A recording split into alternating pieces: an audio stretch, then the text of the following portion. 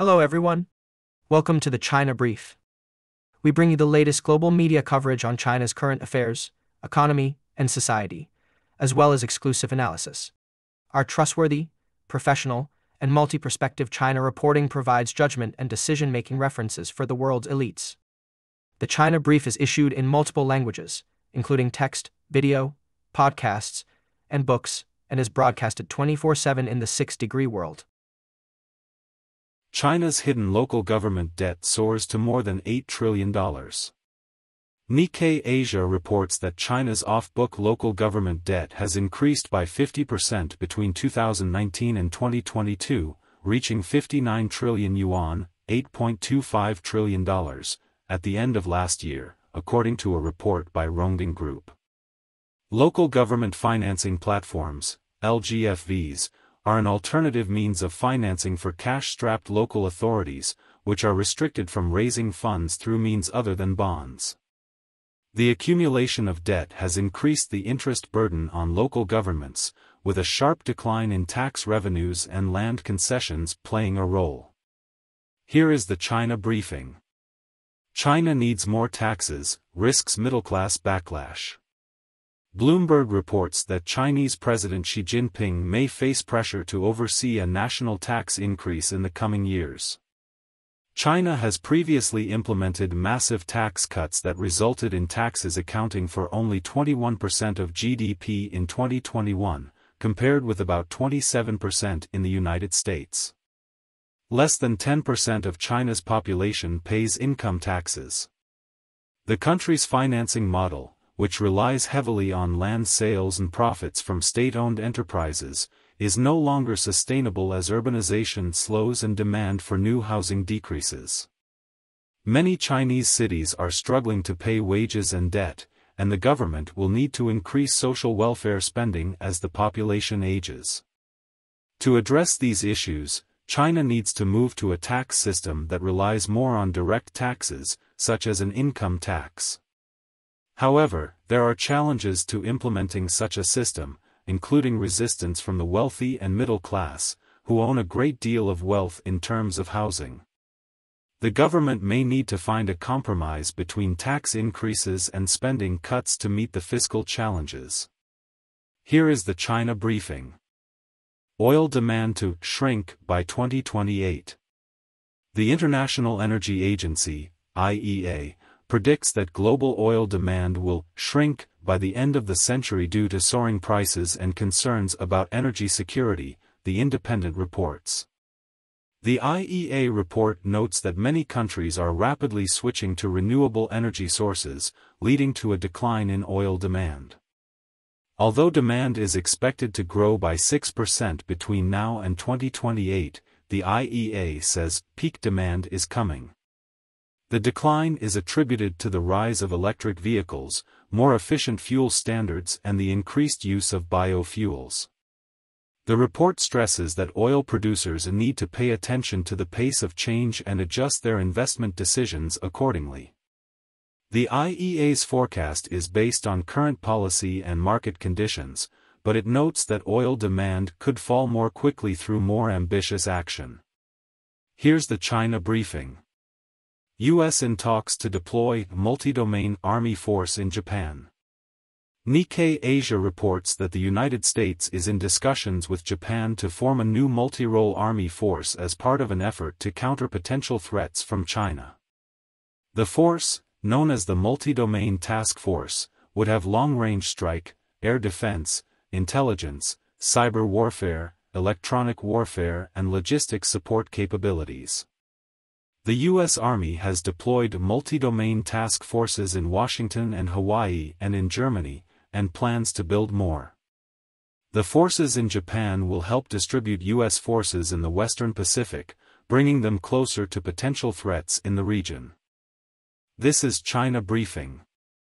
Hong Kong needs more welders, not bankers.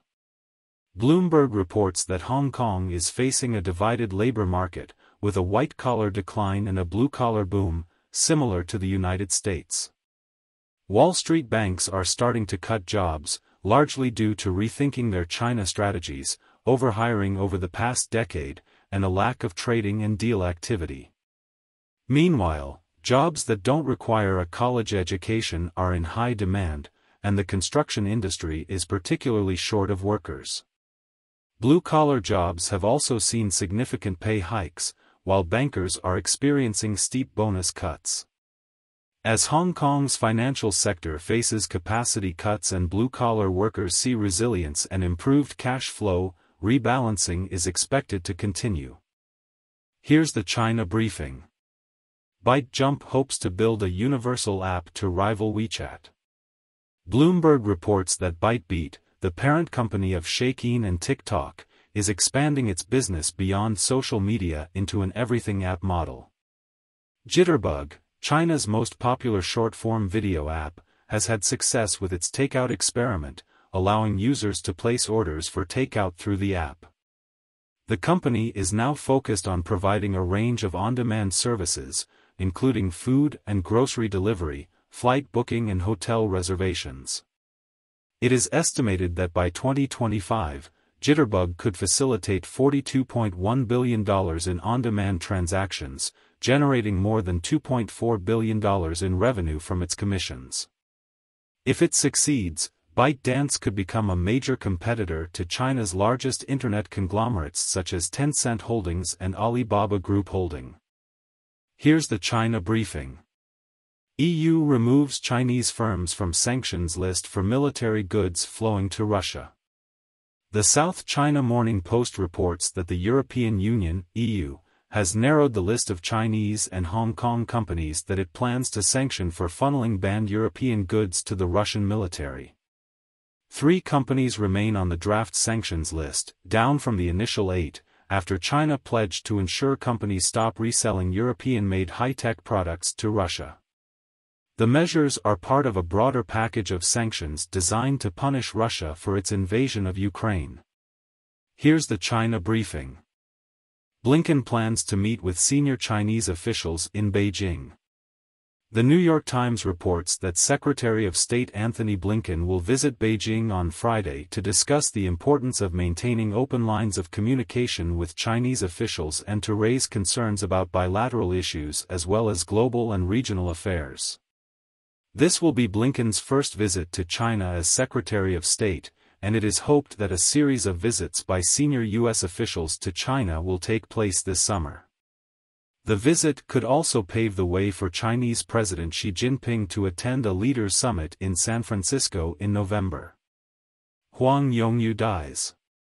Sing Tao Daily reports that Wang Wingyuk, an artist known as a ghost of his generation, has died at the age of 99.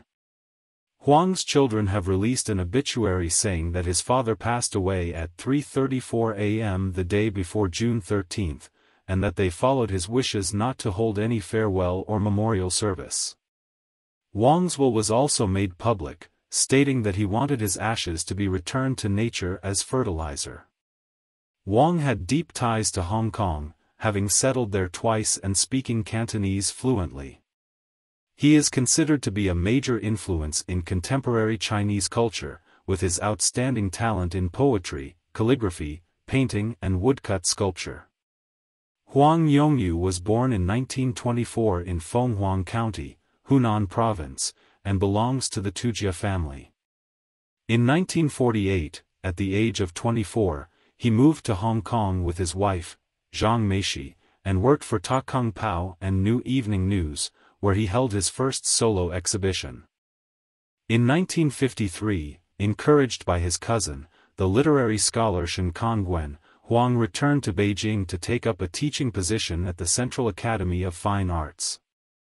In the years that followed, his works showed a surprising diversity in terms of quantity, style, medium, style and subject matter. During the Cultural Revolution, Huang Yongyu was persecuted and branded as a cow devil and snake god, and one of his ink paintings, Owl, was selected for the Black Paintings exhibition.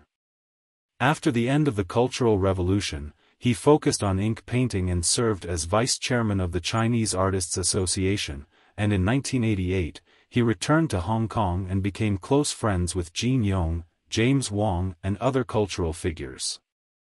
His works include Ashima, Monkey, in the Chinese zodiac stamps, and paintings depicting the landscape of Chairman Mao's Memorial Hall. He has also published works such as Six Chronicles of Yongyu, These Melancholy Scraps, Along the Seine to Villefranche, and The Wandering Man of the River of No Sorrow. He has held exhibitions in Australia, Germany, Italy, mainland China and Hong Kong, and has received the Italian Commander-in-Chief's Award in recognition of his artistic achievements.